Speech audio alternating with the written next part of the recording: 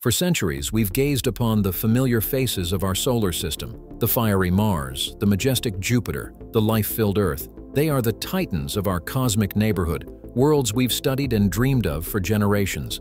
But in the shadows of these giants, a universe of secrets awaits. We're going on a journey to the hidden worlds, starting with two planets so far-flung they're in a class all their own. These are not gas giants. They are ice giants, while Jupiter and Saturn are mostly hydrogen and helium gas, Uranus and Neptune are fundamentally different. More than 80% of their mass is a hot, dense fluid of icy materials, water, methane, and ammonia, crushed under immense pressure above a small rocky core. This unique composition is the key to their bizarre nature, and these frigid worlds are anything but quiet. On Neptune, the winds are the fastest in the solar system, but its colossal storms hide a strange secret about how shallow they really are. Welcome to Neptune, where winds scream at supersonic speeds of up to 1,500 miles per hour, 2,400 kilometers per hour, the fastest ever detected in the solar system. When the Voyager 2 spacecraft flew by in 1989, it witnessed an Earth-sized anticyclonic storm raging in the southern hemisphere, the Great Dark Spot. But unlike Jupiter's Great Red Spot, which has persisted for centuries, Neptune's storms are ghosts. They form, rage, and vanish within a few years, hinting at a completely different atmospheric engine. For decades, the reason was a mystery. The first clue came from a surprising discovery. By analyzing Neptune's gravitational field, scientists realized these violent storms are confined to a remarkably thin weather layer, no more than 680 miles deep. If the storms were deeper and more massive, they would cause a greater wobble in the planet's gravity, a wobble that just isn't there. Below this chaotic veneer, the atmosphere is strangely quiet. So what causes this on-again, off-again weather? A recent theory points to methane, Deep in the atmosphere, where it's warmer, methane may form a stable, saturated layer that acts like a wet blanket, trapping heat from the planet's interior. When this layer occasionally destabilizes, pent-up heat bursts forth, fueling a massive short-lived storm before the blanket settles back into place. This explains the planet's ghostly, transient tempests. Its neighbor, Uranus, presents a different puzzle. It's a paler, more cyan blue, this isn't because it has less methane, it actually has more. Instead, it seems Uranus has a more stagnant, sluggish atmosphere, allowing a thick layer of haze to build up and concentrate, giving it a whiter, more washed-out appearance compared to Neptune's deep azure. But a bit of haze is the most normal thing about Uranus. This planet is so strange, it redefines what a year can be. This is the defining feature of Uranus. Its axis is tilted by nearly 98 degrees. It's essentially rolling around the sun on its side. This bizarre orientation is thought to be the scar from a cataclysmic collision with an Earth-sized protoplanet billions of years ago. This ancient catastrophe dictates its entire climate today. A year on Uranus lasts 84 Earth years. Combined with its extreme tilt, this results in the most extreme seasons imaginable. For 21 straight years, one pole is bathed in continuous sunlight, an endless summer day. Meanwhile, the opposite pole is plunged into a 21-year-long winter of absolute darkness. We've watched this happen. Thanks to the long watch of the Hubble Space Telescope, we've seen the northern polar region brighten as it heads towards its summer, while the southern hemisphere, which was lit when Voyager 2 flew by, slips into darkness. But this creates a puzzle. The extreme solar heating at the poles should drive incredibly violent weather. Yet when Voyager 2 flew by, the planet was eerily calm. Even stranger, massive storms were finally seen in 2014, a full seven years after the sun was shining most directly on the equator. This huge time lag suggests the atmosphere has immense thermal inertia. It takes years to react to the sun's heat, hinting at a deep, slow-moving climate system that scientists are still trying to understand. A 21-year-long night is hard to imagine, but what's happening deep inside these planets is even more unbelievable. Forget water, it's raining solid diamonds. Deep inside Uranus and Neptune, thousands of miles below the cloud tops, the conditions are hellish. Pressures are millions of times greater than on Earth, and temperatures reach thousands of degrees. Under this strain, methane molecules are literally squeezed apart.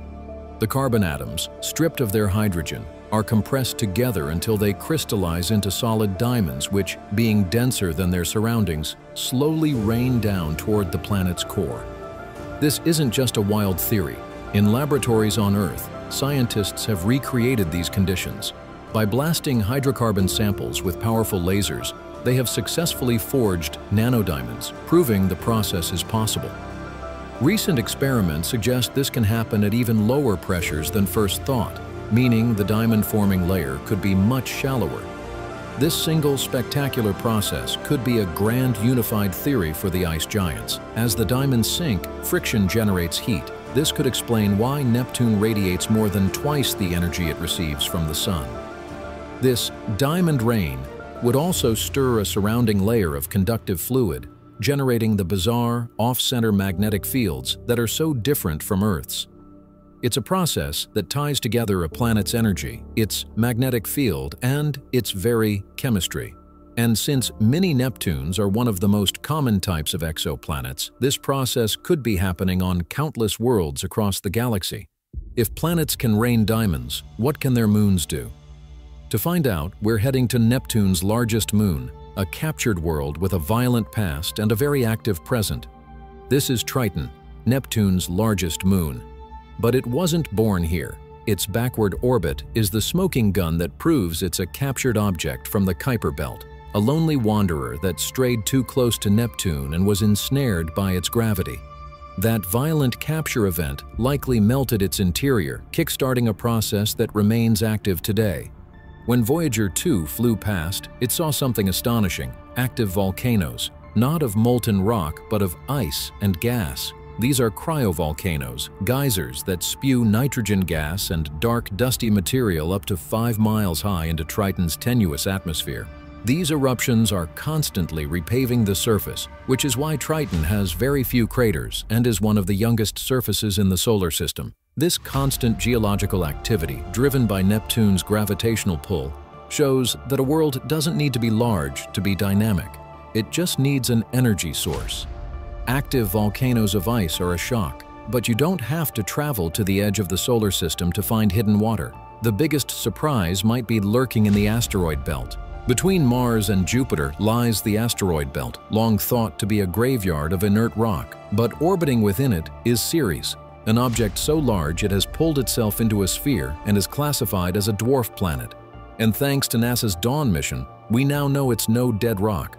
Dawn's cameras revealed hundreds of patches of dazzlingly bright material. The most famous, in Occator crater, are not ice. They are vast deposits of sodium carbonate, essentially washing soda, a type of salt. This discovery was a bombshell some of these salts are hydrated, meaning they have water locked in their crystal structure. In the vacuum of space, they should dehydrate and break down within centuries. The fact that they are still there means they must have reached the surface very, very recently. This is the smoking gun for a deep, long-lived reservoir of salty water, a brine ocean stretching for hundreds of miles beneath the icy crust. Ceres is an ocean world. This discovery shatters our old ideas of where water can exist. Internal heat from the decay of radioactive elements, combined with the antifreeze properties of salts, can maintain a liquid ocean far from the sun's warmth. The solar system is far wetter than we ever imagined. An ocean hiding in an asteroid is a game changer, but what about the asteroids that are less wet and more metal? The Dawn mission also visited Vesta, the second largest object in the belt, and it couldn't be more different from Ceres. Vesta is a dry, rocky world a protoplanet that survived the solar system's violent youth. Its surface is dominated by a colossal impact basin named Rhea Silvia, the scar of a collision so violent it nearly shattered Vesta and blasted pieces of its crust all the way to Earth, which we find today as a specific class of meteorites. Vesta survived, another protoplanet likely did not. Meet 16 Psyche. Radar observations suggest it's not made of rock or ice, but mostly of metal. The leading theory is that Psyche is the exposed iron-nickel core of a world like Vesta, whose rocky mantle and crust were stripped away by a series of catastrophic hit-and-run collisions. Visiting Psyche is like taking a journey to the center of the Earth. NASA's Psyche mission, now on its way, will be humanity's first ever look at a planetary core. By studying this metal world, we can piece together the story of how planets form, differentiate, and sometimes die. A world made of metal isn't just a scientific curiosity, it's a potential treasure trove. This raises a question that could define humanity's future in space. Asteroids like these represent a potential cosmic gold rush, not just for precious metals like platinum, which could be worth trillions, but for something even more valuable in space. Water. Water from asteroids can be split into hydrogen and oxygen, breathable air and rocket propellant. This could create a self-sustaining in-space economy, refueling missions to Mars and beyond without the immense cost of launching everything from Earth. But this is incredibly difficult we still need to develop mining techniques that work in zero gravity, and the startup costs are astronomical. More importantly, there are serious risks. Unregulated mining could create vast clouds of debris, worsening the space junk problem and threatening a chain reaction of collisions that could render Earth orbit unusable. We are at a fork in the road where our next steps could either enable a sustainable future in space or trap us on our own planet. But the most valuable resource we could ever find in space isn't gold or platinum. It's life. And two moons in our solar system are the prime suspects. Welcome back to the outer solar system and to Jupiter's moon Europa. Decades of evidence, from its strange magnetic field to its young fractured surface, all point to one stunning conclusion. Beneath its 10 to 15 mile thick ice shell lies a global, salty, liquid water ocean containing more than twice the water of all of Earth's oceans combined. And there are tantalizing hints that this ocean is venting into space.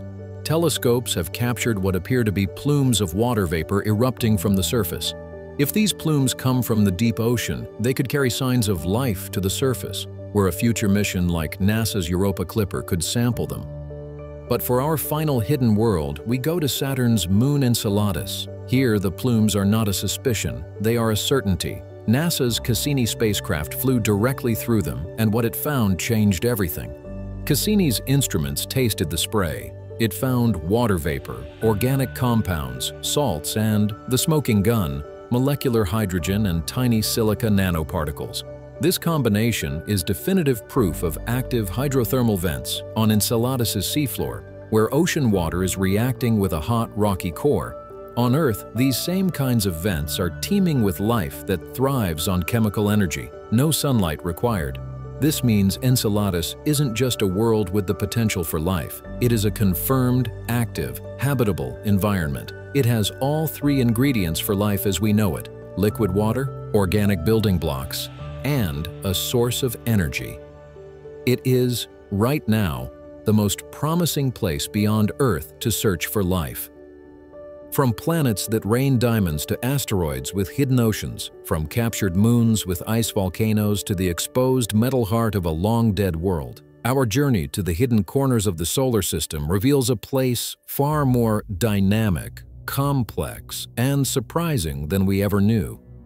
The old lines between planet, moon, and asteroid are blurring as we find planetary processes, oceans, volcanoes, and complex chemistry in the most unexpected of places. The journey to unravel these mysteries has just begun. Missions are already on their way to explore these hidden worlds, to taste their plumes and map their metal surfaces.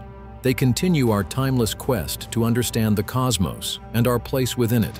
Because if there's one thing these hidden worlds have taught us, it's that there is always another secret waiting to be discovered. Discover the universe's astonishing secrets with us.